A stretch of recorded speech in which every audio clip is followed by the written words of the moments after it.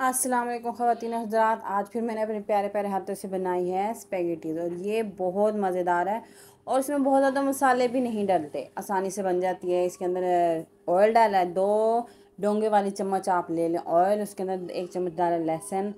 अदरक नहीं डालें लहसुन डाला है इसके अंदर। और हम इसके अंदर यूज़ करेंगे टमाटर, क्योंकि इसके अंदर ज़्यादा केचप का यूज़ होता है। तो केचप मेरे पास इतना ज़्यादा नहीं है। तो मैं उसके अंदर टमाटर का यूज़ करूँगी, मेरे पास टमाटर पड़े हुए थे, तीन टमाटर मैंने किए ग्रैंड और इसमें डाल दिया। जब तक ये भुनाई होती है, भुनाई होगी, उसके बाद हम लोग इसके अंदर डालेंगे चिकन अब इसकी बना, भुनाई हो चुकी है, आप देख रहे हैं ना, भुनाई हो चुकी है, घी बाहर आ चुका है। इसके अंदर हम डालेंगे बॉयल चिकन, मैंने बॉयल करके रखा था चिकन, काली मिर्च और नमक डाल के।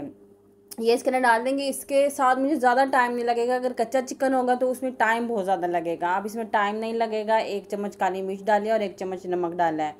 सोया सॉस, चिली सॉस और सफ़ेद सिरका। बस ये चीज़ें डालनी है इसके अंदर और आपका समझे मसाला तैयार हो चुका है। मेरा चिकन तो वैसे ही गला हुआ था, ये मसाले मैंने डाले हैं और मेरा ये मसाला तैयार हो जाएगा। तो आप ये देख सकते हैं, नमक मैंने एक चम्मच डाला, लेकिन दो चम्मच डले हैं इसके अंदर। मैंने दोबारा चेक किया था, नमक कम था, मैंने इसके अंदर एक चम्मच और ऐड किया था। आप भी चेक करके बनाएँ, कभी कहें कि हमारा फीका रह गया, हमारा ये हो गया, हमारा वो हो गया। इसका नमक चावलों की तरह चेक किया जाता है। जैसे चावल आपने बॉयल कर पकाने हैं लास्ट स्टेज पे दम से पहले आप चेक करते हैं, नमक थोड़ा तेज़ है तो ठीक है, बिल्कुल। अगर फिर नॉर्मल लग रहा है तो वो चावल फिक्के रह जाते हैं, बिल्कुल इसी तरह से। अगर इसका नमक तेज़ है तो आपके स्पैगेटीज़ ठीक होंगे, अगर नमक हल्का होगा तो आपके स्पैगेटीज़ फिक्के रहेंगे। तो आपको थोड़ा सा नमक को तेज़ रखना है चेक करना है। और मिर्चें तो वैसे ही मेरे बच्चे लेते नहीं हैं, हल्की मिर्चें लेते हैं तो ये मिर्ची उनके लिए काफ़ी होती हैं।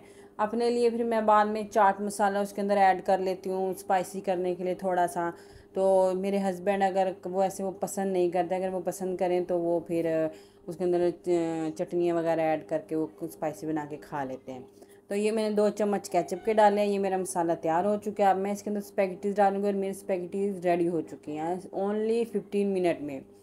तो ये मैं बच्चों को खिलाऊँगी, मेरा अब सारा दिन सुकून से गुजरेगा। जब उनका दिल करेगा, उठाएँगे स्पैगेटीज़, खाएँगे, आते जाते खाएँगे, आते जाते खाएँगे, आते जाते खाएँगे। तो ये हमने इसको मिक्स कर दिया है, ये बड़ा आसान तरीका था। इसके अलावा आपके पास अगर सब्ज़ियाँ हमारे, मेरे पास घर पर कुछ भी नहीं था। कुछ भी नहीं था और बच्चे ज़िद कर रहे थे कि हमें स्पैगेटीज़ खानी है। तो मैंने कहा, ठीक है, मैं आपको बना देती हूँ सब्ज़ियाँ, इसमें गाजरें डलती हैं, शिमला मिर्च डलती है, आपकी मर्ज़ी, जो सब्ज़ियाँ ऐड करें। लेकिन इस वक्त सब्ज़ियाँ अवेलेबल नहीं थी तो अगर सब्ज़ियाँ ना हो तो फिर भी आप बनाकर खा सकते हैं। ऐसी बात नहीं है कि आप नहीं बना के खा सकते। आप बनाएँ, खाएँ और मुझे बताएँ कि आपको ये कैसा लगा। ये लोगों की बहुत ज़्यादा तरकीबें हैं, आप कुछ भी देख सकते हैं, जो आपको अच्छा लगे, आप वो रेसिपी उठा के बना सकते हैं। लेकिन ये मेरी अपनी रेसिपी है, इसके अंदर नॉर्मल सा रहता है, ये जो फिक्के खाने खाते हैं बच्चे, उनके लिए ये बेस्ट है, ठीक है? आप बनाएँ, खाएँ और मुझे कमेंट ज़रूर कीजिएगा, मुझे बताइएगा कि मेरी वीडियो आपको कैसी लगी। फीडबैक ज़रूर दीजिएगा दुआ में याद रखिएगा। फिर मुलाकात होगी, अल्लाह हाफिज़। मम्मा ने ये मम्मा ने बड़े बनाई है।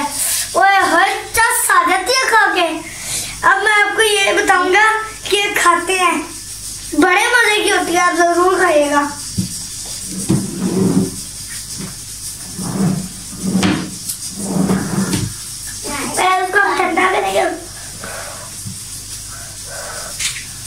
ये बिल्कुल नूडल की तरह है। बस इसमें अगर आप केचप और ये मसाला डाल के रखो, ओए होए, बड़े चस आ जाएगी।